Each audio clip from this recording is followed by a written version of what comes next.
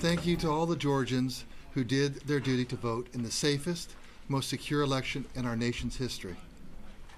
Millions of voters showed up to vote, and you voted in record numbers. The race for Georgia was called at 1235 overnight, being the first battleground state to flip since the 2020 presidential election.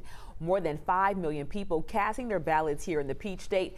Our election day didn't go off without some hiccups, though. Voters pushed through scare tactics at several precincts when someone called in bomb threats that led to evacuations. But the show went on, leading to some of the fastest results we've seen in a Georgia presidential election. Another key race in our state ended as predicted. Fulton County District Attorney Fani Willis beat Republican challenger Courtney Kramer.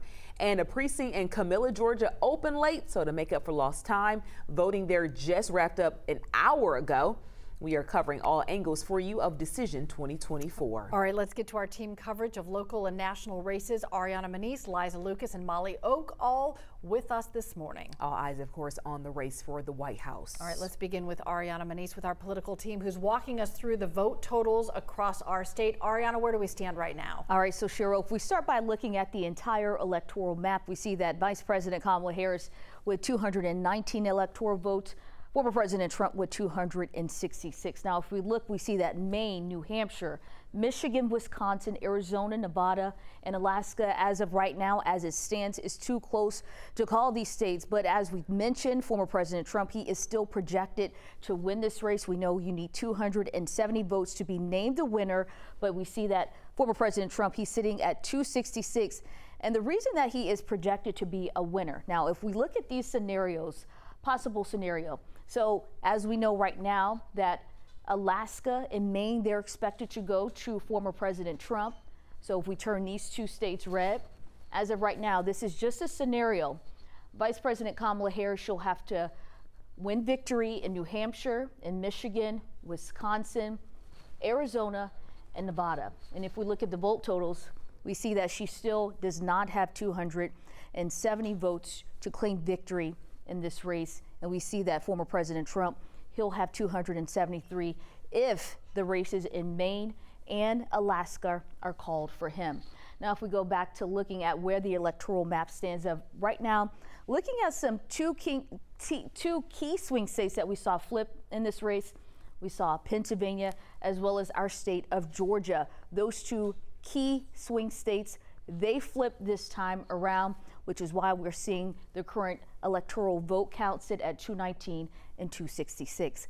Now, coming up in my next hit, I'll have a breakdown of the congressional races because control of Congress was at stake as well this election cycle, as well as the outcome of state house races coming up in my next hit. Sending it back to you. Ariana, thank you. Let's send it over to Liza Lucas now live at the state capitol this morning. Liza, the Georgia Secretary of State is touting Georgia's election as record breaking and a big success. 73% of active voters cast a ballot despite the hurdles that we saw in counties. A lot of things happening here on the election day. That's right. And you spoke off the top of some of those hurdles. We were talking about those bomb threats. 60 threats received in counties across the state. And yet, the Secretary of State noted that we still had that record turnout on Election Day. And we went into Election Day with record turnout for early voting. Secretary of State Brad Raffensperger praising the resiliency and efforts of county election teams, the poll workers, and those who've worked behind the scenes to pull off a smooth experience for voters. His office continuing to lean into the numbers reported throughout the day Tuesday. We're talking about the short wait times to vote and then the timely turnaround by election teams to process ballots and deliver Georgia's results. Uh, again, that official count coming in at midnight. What other state in the country had a 49 second check-in time so that you had end up with a less than a five minute wait time during the whole process? And you're voting in and out the door in 10 minutes. We've worked hard to build a team. We've built hard to provide the voters the very best voting experience.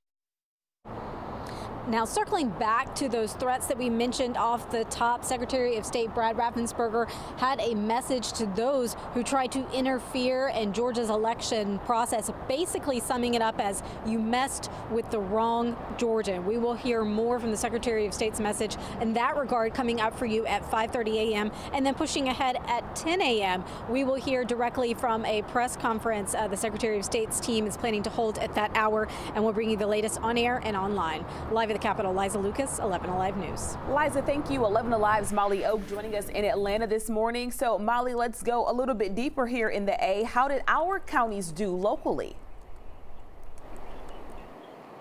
Yeah, we're checking in on a couple of different counties here in the metro. First, let's check in on Fulton County. That's where we are right now. Leaders say they knew Fulton County was ready for the 2024 election and say yesterday, well, simply put, proved it. They added they're pleased with how things went, not only at the polls, but also at the election center.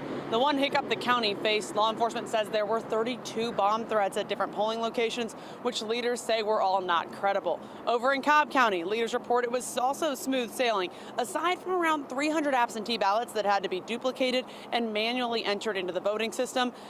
And then back here in Fulton County, while it did deal with those bomb threats that you've heard myself mention and Liza as well, this is what leaders were saying over in Gwinnett County, also dealing with bomb threats. It looks like probably the last number as far as um, uh, Gwinnett election day turnout is going to be right around 100,000. I, uh, I, haven't got the exact number yet, but it's going to be right around 100,000 uh, voters that uh, came out and voted in Gwinnett today. So um, pretty pretty good about that. Like I said, record-breaking turnout um, definitely ahead of the uh, 2020 uh, totals.